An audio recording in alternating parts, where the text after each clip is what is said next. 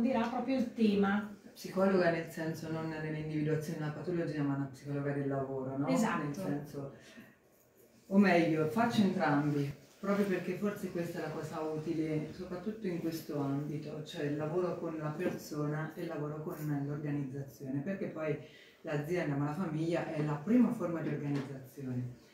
Ora vi dico un'immagine, avete visto penso tutti l'immagine dell'inconscio e del conscio, l'iceberg, no? Il 90% è inconscio, quella piccola parte è conscia.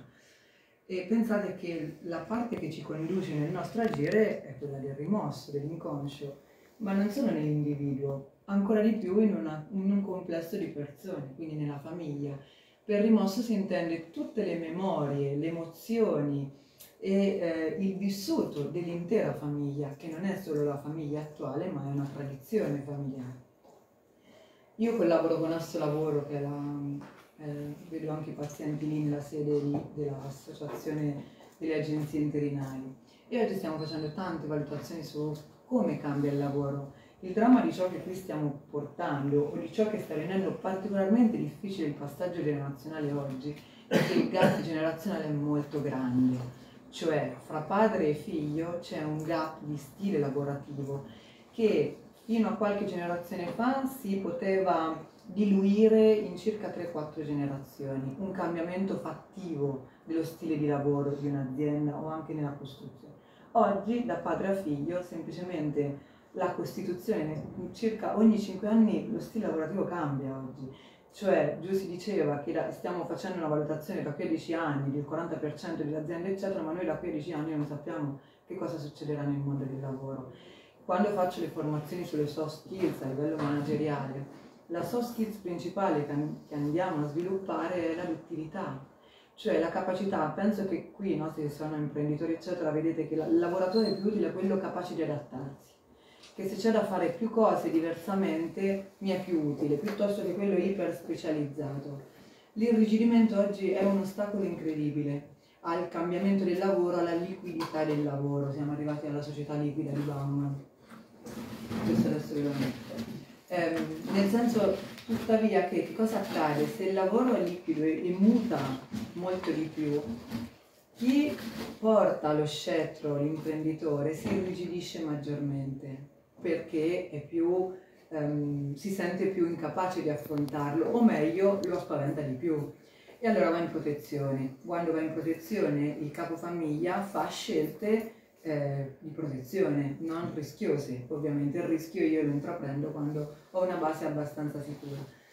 Il gap con il figlio che è tanto grande che ad esempio vuole utilizzare i social per comunicare la sua azienda e il padre, per, no, non lo so, a me capita molto spesso che il figlio insiste moltissimo nell'investire nella comunicazione del prodotto perché oggi è tanto, no? E il padre che dice no, tutta una cavolata perché quello che conta è la qualità, eccetera. Questo è uno dei gap che noto di più a livello delle aziende. Come si, come si mette insieme questo? Bisogna arrivare, mh, mm, questo adesso ve la spiego, a un concetto, a me piace raccontarlo quando parlo con le famiglie bisogna tornare a un concetto un po' greco. Eh, una famiglia è un cosmo. Cosmo in greco significa complessità, ma è un termine che, che ha anche un, una valenza estetica, perché significa un'armonia che si mantiene, che riesce a resistere nella sua diversità. I latini hanno introdotto il termine universo, che è verso l'uno, che ha già di per sé un riduzionismo e che, a cui noi siamo portati, perché se noi vediamo, noi cerchiamo sempre di concentrare no, le cose, la, il passaggio, di individuare una persona. Il lavoro che si deve fare oggi, proprio per il cambiamento grande a cui stiamo assistendo, è rieducarci a mantenere la complessità. Cioè tutti possono essere utili nell'intervento, nel, nel passaggio, tutti, perché tutti i ruoli, le mogli sono fondamentali, le mogli dei figli, no? Se voi immaginate, soprattutto quando ci sono figli maschi, che hanno mogli no? diverse come, che intervengono. Io parlo tantissimo con le mogli, con le, no? che non sono direttamente artefici dentro l'azienda, ma lo sono la sera dopo cena, quando si parla a casa. E lì noi siamo molto bravi, molto persuasivi, se i due fratelli possono andare d'accordo. Dopodiché c'è tutto contesto, quando si parlava del padre che non delega, no? lì c'è una, un archetipo fondamentale che è l'uccisione del padre, si chiama in psicanalisi, simbolicamente. Cioè la durezza del padre può essere molto utile al figlio se riusciamo a inserirla in un contesto di conflittualità che non divide, che non disintegra, ma che integra. È fondamentale perché tanto più è tosto il padre, tanto più il figlio si deve esercitare a, a tenere botta e a superarlo e tanto più avrà fatto questa fatica e tanto più sosterrà le altre conflittualità. Questo a livello simbolico significa riuscire a vincere il, padre anche autoritario. Però qui c'è un'altra componente, sempre sociale, che viene a intervenire, che non è più contemplata questa uccisione del padre oggi.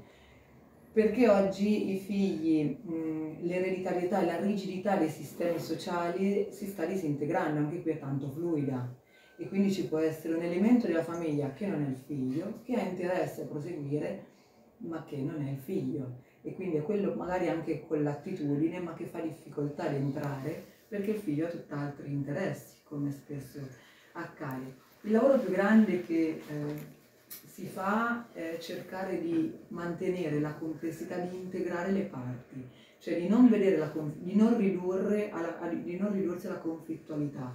Io non sono eh, l'imprenditore che litiga con il figlio perché non gli vuole passare l'azienda.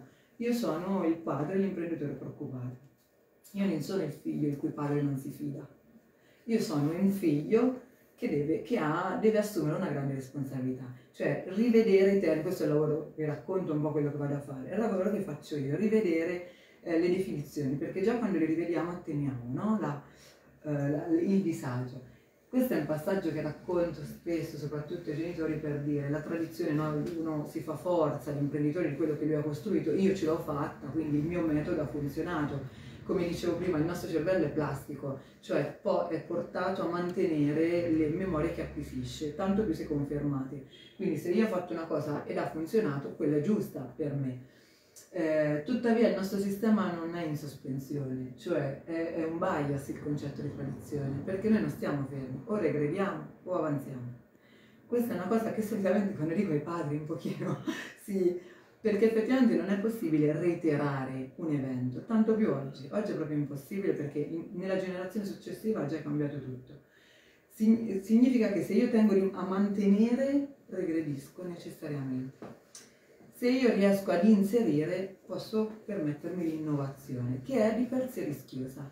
È di per sé rischiosa, ma il margine di rischio, se io sono un imprenditore, lì tocco sempre l'orgoglio di un imprenditore, devo contemplarlo.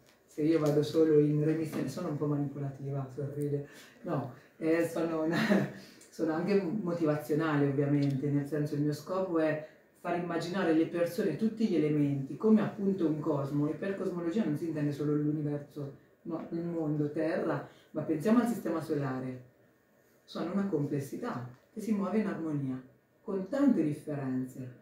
Il cosa è trovare l'armonia. Come lo si fa? Con conoscendosi. Che cosa mi disturba? In che cosa io sono forte?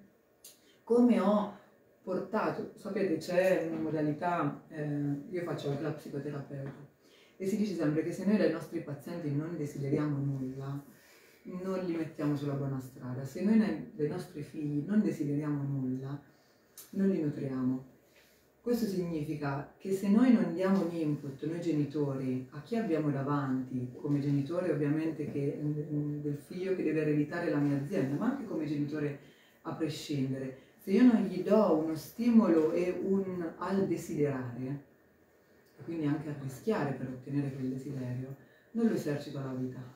Questo è eh, un elemento fondamentale che soprattutto oggi nel lavoro, soprattutto in questa fase critica della, della realtà, no? del mondo, e rispiego sempre, crisi è un termine che viene da crineo, cioè significa separare e qualcosa nasce solo se c'è, se c'è un luogo vuoto, quando io separo creo un vuoto. Ciò che rimane insieme non può modificarsi, non può migliorare. I cambiamenti evolutivi avvengono sempre nella diversità, nella diversificazione da ogni te. Se non ci fosse stata la crisi, una crisi iniziale, non sarebbe stato il Big Bang, non sarebbe nata la vita. Perciò necessariamente ogni nuova nascita, ogni miglioramento deve nascere da, da una frattura, da una lacerazione, in un certo senso, che deve essere però integrata e mantenuta in una complessità, in un'armonia.